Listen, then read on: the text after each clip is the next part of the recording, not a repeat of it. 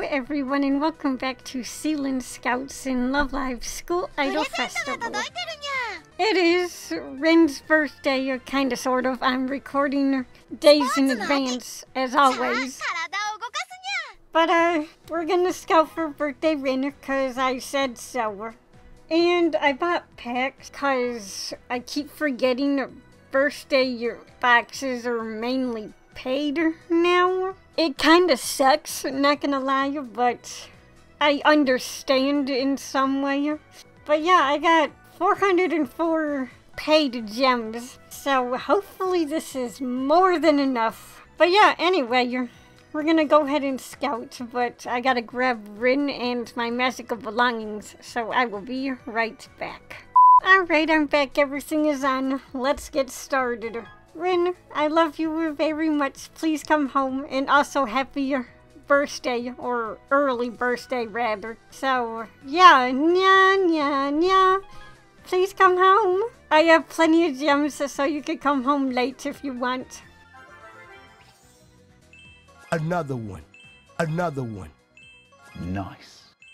Nice. Another one. Nice. Nice. Nice.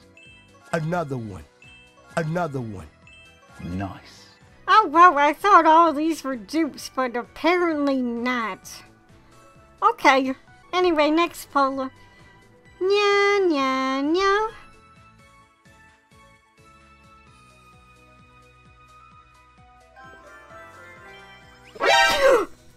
oh my god. okay. We're good. Oh my god.